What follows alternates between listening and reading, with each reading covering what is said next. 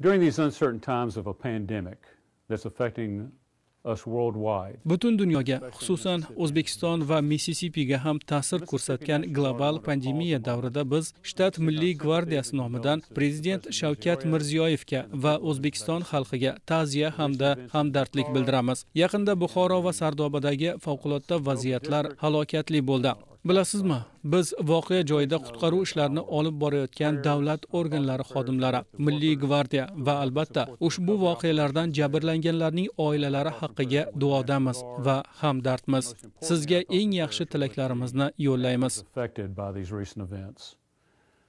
Best wishes to you.